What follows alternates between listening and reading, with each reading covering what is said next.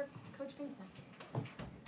Coach, um, you're not the, the first wide receiver to coach running backs here for Coach Reid. Uh, What were your thoughts about when you, coaching a position that you didn't play at the NFL level? Uh, well, I was excited about it. Um, you know, as far as being a coach, you feel like you can coach anything.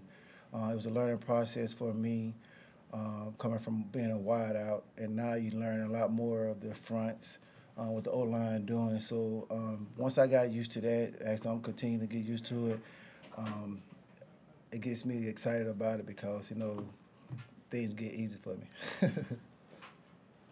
Eric Prince uh, mentioned your name when, when it came to coming here to Kansas City. What did you see in him during that draft process that maybe made you like him and wanted him to come?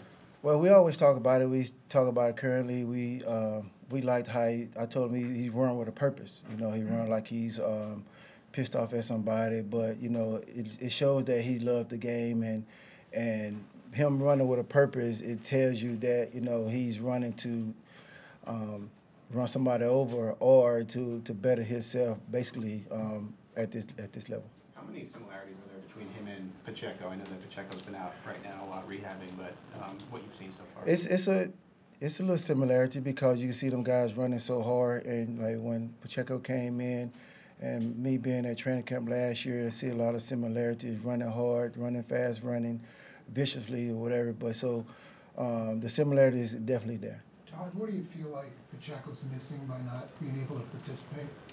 He's not missing anything. He's not missing anything. He come to the meetings. He um, actually, if he's on the field not doing his rehab, he's actually getting a lot of mental reps, helping the young guys out. Actually, helping me out as well. So uh, I don't think he's missing anything besides the physical part because he's getting all the mental, mental parts uh, down pat.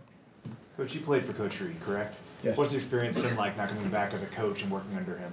Oh, it's, it's good. It's good. I know what to expect from him um, as far as the ins and outs and what to, what to do and what not to do. But uh, it's it's it's fun being on this side of the ball now, and um, it, it just gave me the joy that when he gave me that call, you know, I was delighted to get an opportunity to come coach with him. What's been the difference between playing for him and coaching for him? Uh, practice.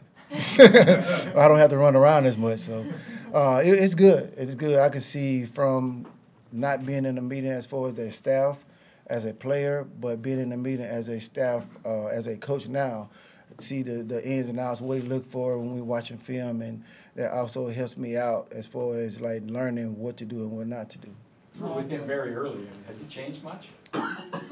Uh, yes, he's changed. No, I I- think he's he's he kept a state uh, steady steady flow with it as far as coaching styles and strategies or whatever. It's just the fact that I could see the difference in me playing for him and me coaching with him or well, coaching for him right now. Uh, I can see the similarities as far as stuff we did back in the past. Todd, uh, Clyde seemed frustrated at the end of last year between the injuries and everything. What's his frame of mind been since you've uh, come aboard?